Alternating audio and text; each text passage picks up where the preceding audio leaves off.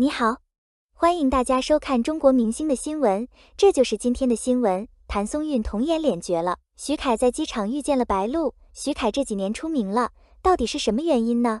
谭松韵童颜脸绝了，穿透视裙不仅不性感，反而干净甜美，三十三岁像十八。近日，一组谭松韵穿着黑色透视裙的照片在互联网上走红。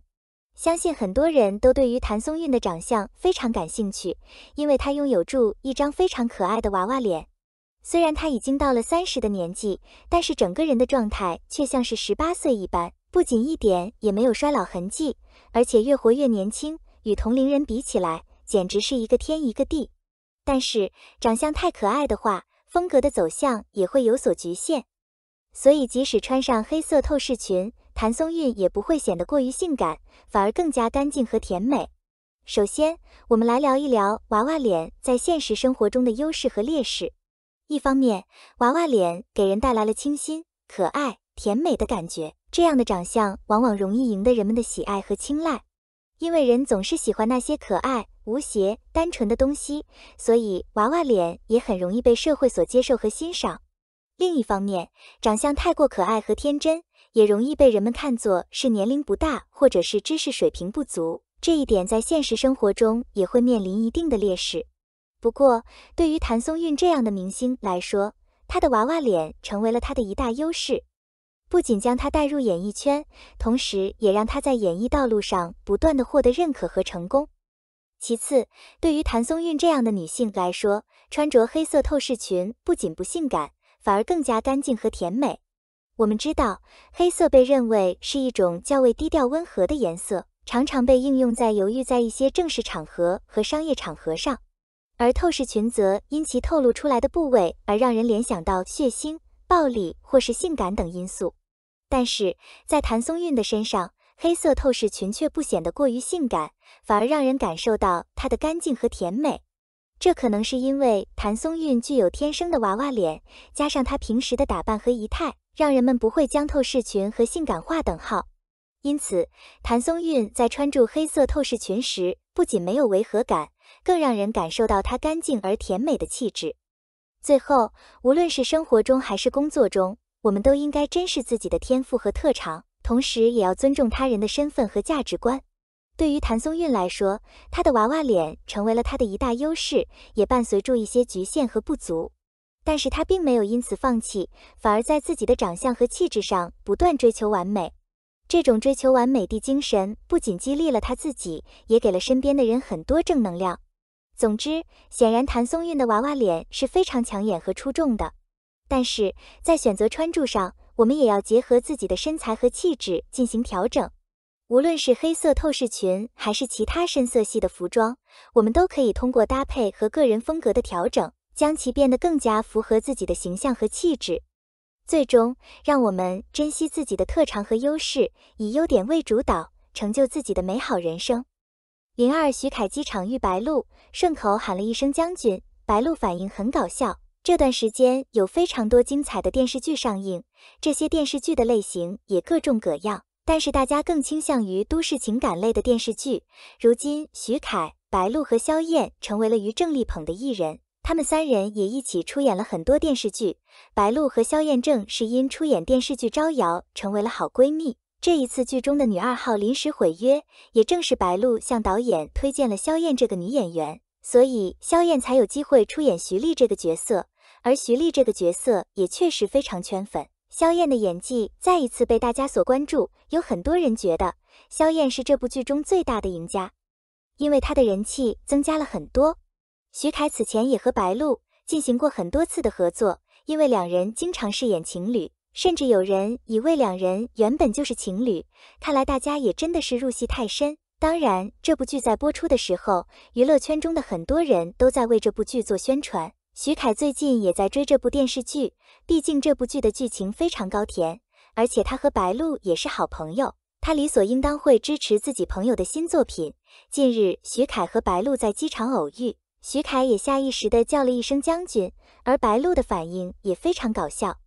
白鹿回应道：“徐凯，你是不是入戏太深了，都忘了和你多次合作女演员的真实名字了？不过看在你这模支持我新剧的份上，我原谅你了。”徐凯也是一个比较幽默的男生，他当然不会忘了白鹿的名字，他只不过是借用这种方式来告诉白鹿，自己一直在关注白鹿的新剧。看来两人的关系确实不错，只有好朋友之间才会帮彼此宣传新剧，如果存在竞争关系，未必会真心祝福。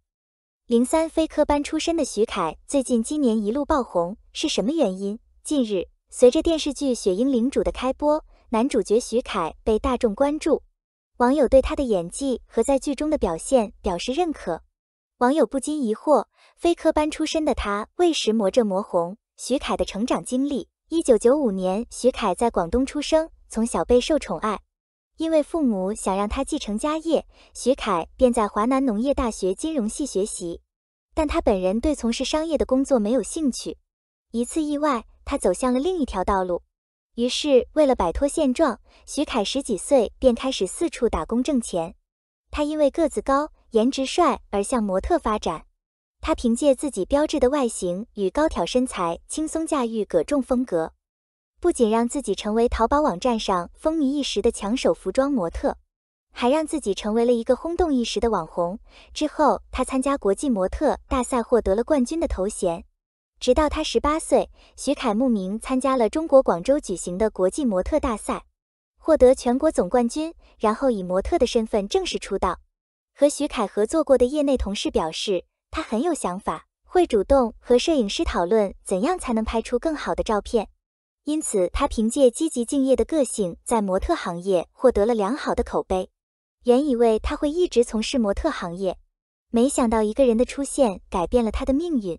徐凯在二十一岁时算是小有名气的网红，而慧眼识珠的于正觉得徐凯很有发展空间，所以想签约徐凯。亲自找到徐凯表明来意后，两人经过详谈。徐凯做了一个决定，他从华南农业大学休学，正式踏入演艺圈。原以为有于正的力捧，他的演艺之路会一帆风顺，然而却十分坎坷。徐凯的演艺生涯，徐凯在十六年与欢娱影视签约，成为旗下的一位艺人。同年出演个人首部电视剧《朝歌》，从而正式进入演艺圈。他在剧中饰演姜子牙的左膀右臂，西岐第一大将军杨戬。不过，该剧早在十七年杀青，至今因不可抗因素而未播出。之后，他也没有气馁，没有放弃出演电视剧的机会。他暗自下定决心，要从一个配角开始自己的演艺之路。没想到，皇天不负有心人，他第一次正式出演的配角就吸引了大家的视线。十七年，在电视剧《延禧攻略》中饰演深谋远虑的富察傅恒，既有深情又有大义，将矛盾演绎的分毫不差。但在剧中却因救爱人而丧命，实属遗憾。形象深入人心，开始进入大众视角。之后挑战主角，独揽重任。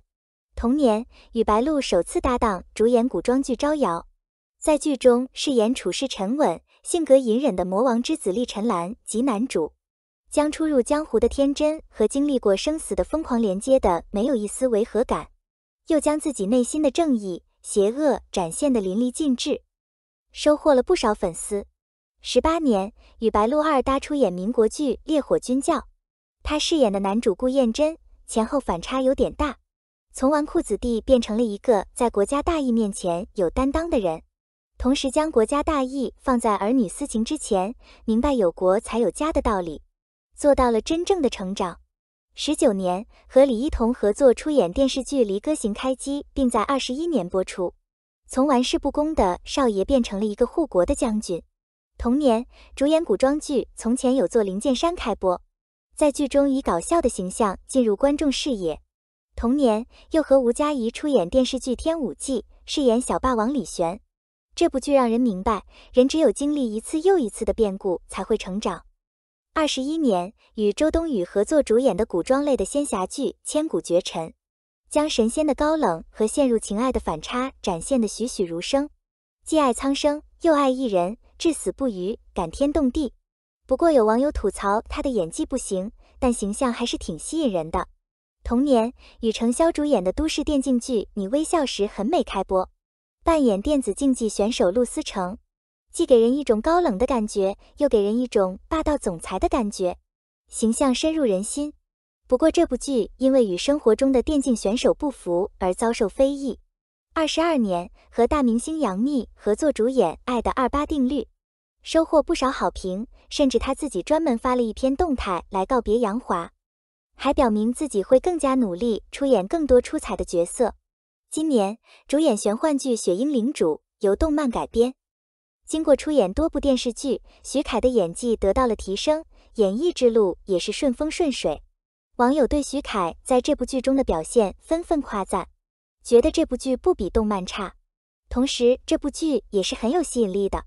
徐凯饰演的男主东伯雪鹰是一个为了目标拼搏、敢于付出生命的人。为了救出被困的母亲，他一路披荆斩棘，克服重重危机，在与女主相识相知的过程中互生情愫，最终携手共度余生的故事，算是一部励志爱情剧。